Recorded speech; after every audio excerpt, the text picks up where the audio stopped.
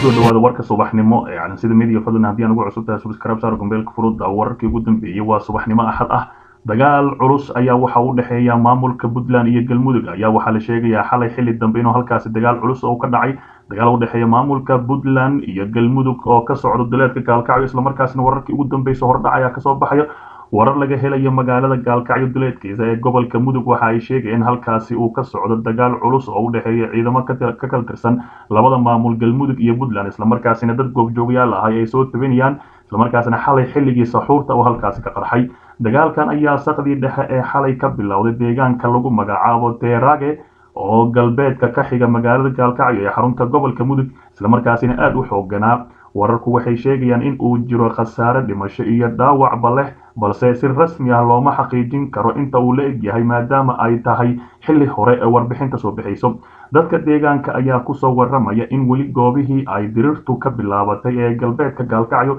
laga maqlayay daryanka rasaasta ay isku adeegsanayaan labada dhinac ee dagaalamayay si kastaba ha ahaatee jugta ayaa aada u xooganeed dadka lala hadlay waxay sheegeen in xilliyadii saxuurta uu aada u xoogaystay dagaalkaasi weli ma jirto dhinacyada oo u dhexeeya galmudug iyo puntland. Cid ka hadashay maadaama xilli hore dagaalkaasi la soo tabiyey si kastaba ha ahaatee saacadaha soo socda ayaa laga yaabaa inay mas'uuliyiinta labada dhinac ay ka kala hadlaan maadaama dagaalka uu aada u xooganaa dhinaca kale james swam oo fariin cusub u soo diray madaxda soomaaliya dhammaanna uga digay warbaahinta xorta ah in la caburiyo ergeyga gaarka ee qaramada midoobey ee soomaaliya ayaa qoraal uu soo saaray ku aadan munaasabada maalinta xorriyadda saxaafadda adduunka. Waxa uu ku booriyey ixtiraamka xorriyadda saxaafadda soomaaliyeed. Haddaba warbixintii uu soo saaray safiirkaasi ayaa sida tan u qorneed munaasabada maalinta xorriyadda saxaafadda adduunka awgeed ayaa ergeyga qaramada midoobay ee soomaaliya wuxuu maanta ugu baaqay suxufiyiinta soomaaliyeed in ay awood u yeeshaan in ay shaqadooda u gutaan si xor ah oo cabsi aan lahayn. Warbaahintu dowr muhiim ah ayay ku dhex leedahay bulshada soomaaliyeed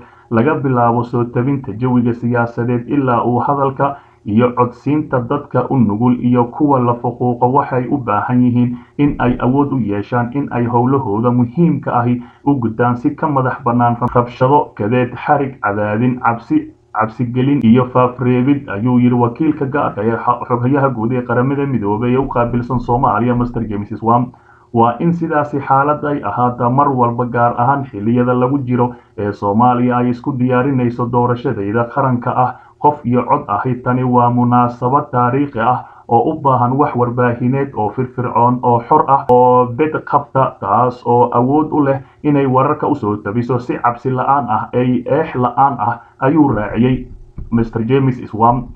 maadaama dalka uu la tacaalayo cudurka safmareenka ee caam boqol sagaal iyo toban ayaa baahida loo qabo in warbaahinta soo tabiso warar sugan oo wakhtigeeda ku soo beegma ayaa sidoo kale ah arrin muhiim ah. Gacan ka geysanaysa kor u qaadista wacyigelinta taas oo badbaadin karta nolosha dadka ayuu yidhi. Maalinta xorriyadda saxaafadda adduunka waxaa looga dan leeyahay in lagu xuso laguna difaaco mabaadi'da as-aasiga ah ee xorriyadda saxaafadda. Waxaa la xusaa sanad kasta saddexda mey waxaana halku dhig maalintaasi sanadka uu yahay saxaafad aan lahayn cabsi ama eex iyadoo halku dhiga faahfaahsanna uu yahay sida badqabka haweenka iyo ragga suxufiyiinta ahi. Saxaafadda madaxa bannaan oo xirfad leh oo ka caagan saamaynta siyaasadeed iyo mid dhaqaale iyo sinaanta jinsiga ee dhammaan dhinacyada warbaahinta ahi.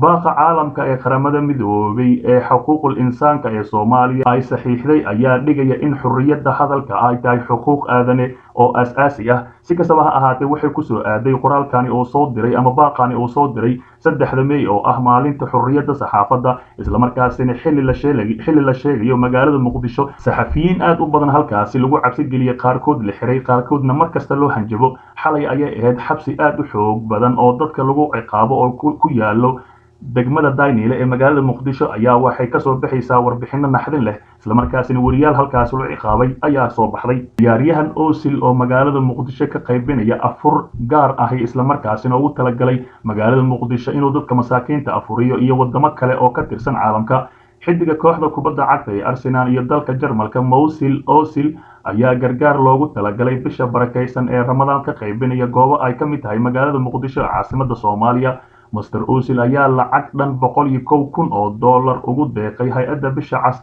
ee ay si gargaara ugu qaybiso muslimiinta dhowr dal ah inta lagu guda jiro bisha barakaysan ee ramadaan lacagtan ayaa waxaa loo adeegsan doonaa afur lagu siiyo lix iyo toban kun oo qofood oo ku nool dalka turkiga inta lagu guda jiro bisha ramadaan sida ay sheegtay hay'adda bisha cas ee dalkaasi turkiga sidoo kale qoysaska ku kala nool turkiga iyo syriya ayaa laba kun oo xirmo oo gargaar ahi ka heli doono deeqda owsil halka sagaashan kun oo xirmo afur ahi laga qaybin doono magaalada muqdisho ee caasimada dalka soomaaliya. Kariim kinig oo ah madaxa hay'adda bisha cas ee dalkaasi turkiga ayaa xidiga fadhigiisu yahay magaalada london. Ugu mahad celiya deeqdiisa islamarkaasina si weyn u bogaadiyey. Waxaan qaybin doonaa ayuu yidhi xirmooyinka gargaarka ee uu ku deeqay walaalkeyn mesel osil waxaana uu gaarsiin doonaa dadka loogu talagalay sida ugu dhaqsaha badan ayuu yidhi master krem osil ayaa ku dhashay kuna koray dalkaasi jarmalka hase yeeshee qoyskiisa ayaa asal ahaan ka soo jeeda. Dalkaasi turkiga asigana aad ayuu jecel yahay inuu inta badan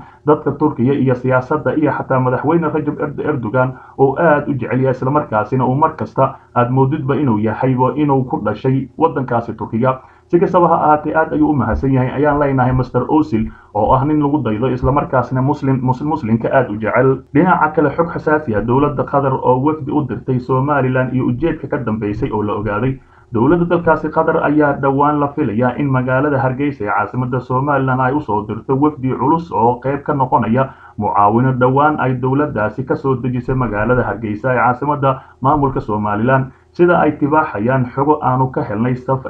safarka wafdigaasi ayaa ku soo aadi doona dhammaadka ama bilowga toddobaadka cusub iyagoo la socdo diyaarad mucaawino caafimaad ah oo wax weyn ka caawin doona xukuumadda somalilan dhanka la dagaalanka cudurka caabuqa safmareenka ahi ee dhibaato culus ku hayo adduunka intiisa kale imankana soomaaliya uu lafaha ka soo galay. Wafdigaasi ayaa la filayaa in deeqdaasi ay ku wareejiyaan guddiga u diyaargarowga iyo ka hortagga ee somalilan ee madaxweyne muuse biixi ugu igmaday inay hormuud u noqdaan la dagaalanka ka dhanka ah cudurka caabuqa sagaal iyo toban. Mana cadda ilaa hadda in deeqdaasi ay ku imaanayso codsi ay somalilan u gudbisa dowladda qatar iyo in si iskeed ahi ay qatar u soo gaarsiinayso mucaawinadaasi xilli ay dhowaan dowladda imaaraadka carabta ay deeq caafimaad ka dejisay magaalada hargeysa ee caasimada somalilan dowladda qatar ayaa inta badan lagu tiriyaa inay xiriir dhow oo saaxiibtinimo ay la leedahay dowladda federaalk soomaaliya iyadoo deeqdaani la filayo ay dadka qaarkood u arkaan in qatar ay danaynayso inay xiriir diblomaasiyadeed